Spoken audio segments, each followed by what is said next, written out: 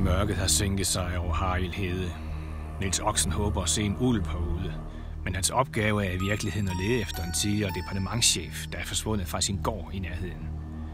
Oksen finder kun et mystisk spor, der fører ham tilbage til hans gamle marker fra PET, Margrethe Frank og hendes fortid.